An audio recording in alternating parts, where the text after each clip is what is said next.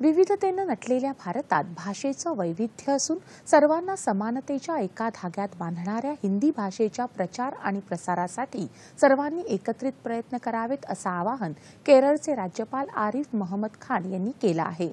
पुण्यात कालपासून सुरू झालेल्या अखिल भारतीय राजभाषा संमेलनात आज दुसऱ्या आणि अखेरच्या दिवशी नगर राजभाषा कार्यान्वयन समितीविषयी एका परिसंवादात ते बोलत होते. देशभरातील कार्यालयीन कामकाजात राजभाषेचा वापर वाढावा या दृष्टीनं राजभाषा कार्यान्वयन समित्या कार्यरत असून या समित्यांच्या माध्यमातून लवकरच हिंदी ही देशातील प्रमुख संपर्क भाषा बनेल असा विश्वास यावेळी परिसंवादात सहभागी मान्यवरांनी व्यक्त केला. सर्व प्रकारचे अत्याधुनिक शिक्षण लवकरच हिंदी भाषेत उपलब्ध व्हावं अशी अपेक्षाही यावेळी व्यक्त करण्यात आली.